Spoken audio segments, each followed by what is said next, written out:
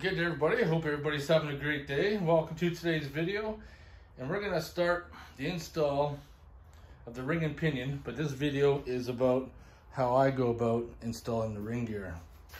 First off, I wanna do is I got my oven here, you got a heater up. So I'm gonna set my temperature to, sorry, out of camera view, 250 degrees. Got that set up. Because what you want to do, you want to put the ringer in there to heat it up. And then once it's heated up, it expands enough and then it can slide over top of that ring so it fits in there nice and tight. But before we do that, I need to prep that. A couple things, I got my Detroit Truetrac there. I just got a file and I'm just going over the bolt holes and the edge just to see if I could feel any high spots whatsoever because high spots will cause some issues. So now I just want to clean the surface with brake cleaner, remove any oils before I get ready to install it. Got the ring gear, probably the most important part. Same thing.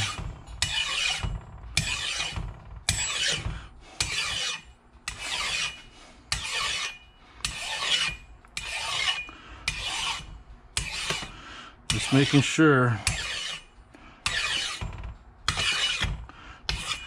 there's no burrs, feels good.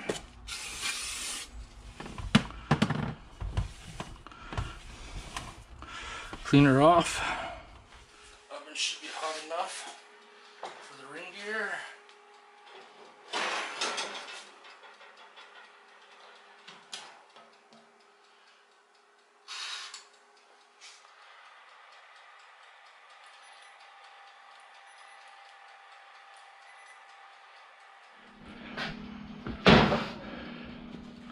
Let's try this again.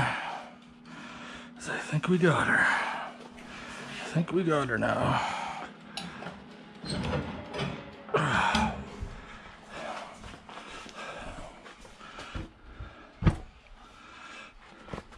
One of the problems is that the gear is so thick. There we go, we just fit it right on. Just fit it right on. I'm just gonna spin all these in right by hand. Make sure they all just line up nice.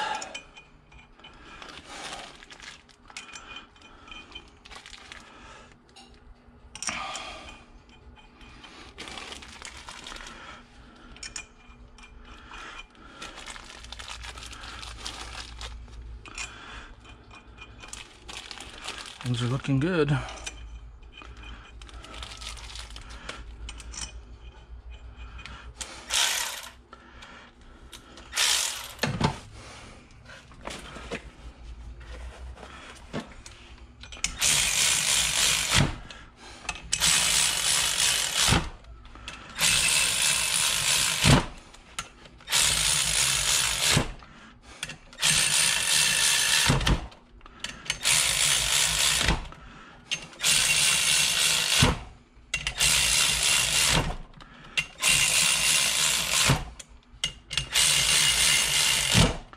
There.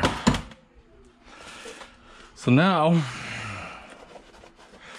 that will cool. Now that the ring gear is cooled, which means it would have shrunk. Like I said before, that's the reason why I don't torque it up when it's hot, because the metal's expanded, and then when it shrinks, it'll lose some of its torque. This way it's cold.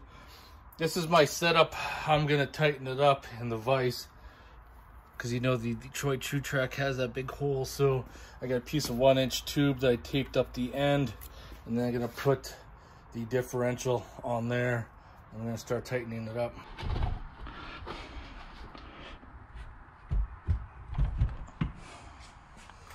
so my master bearing kit came with some red Loctite that we're to use on the bolts And for what I found out, we're gonna go 80 foot-pounds. Yeah, it didn't take much to to bust it free at all. Put some some red Loctite on there.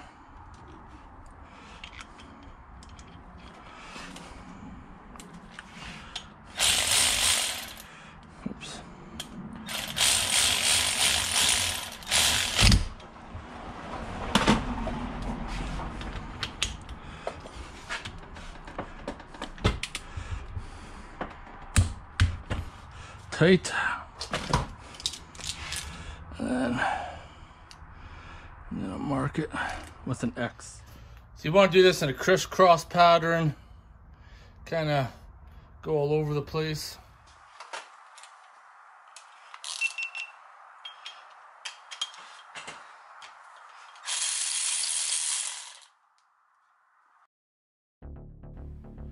The rest of this is just sped up and fast mode, just kind of show you how I go about tightening it up. Like I said before, when the ring gear is heated up and you install it, I don't tighten it up then, just for the fact that I showed you, is that once the ring gear cools down, it shrinks, it loses some of its torque, and you could have issues later on. When it's cool, pull the bolts out like I'm doing right now, Loctite them in place, and you're good to go. Important to go in a crisscross pattern and it's pretty simple. Make sure you use the proper torque specs and everything else. I wish you guys luck, and there'll be a little piece at the very end.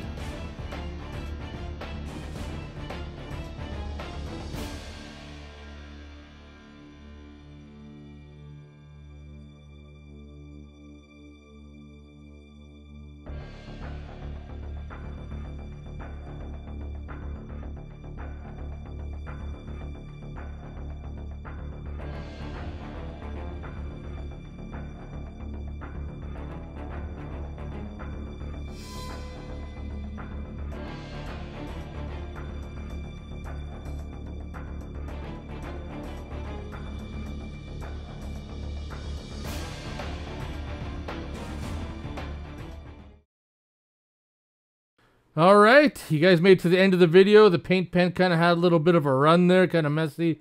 It's always good practice to cross off your bolts as you torque them down so you know which ones are torqued.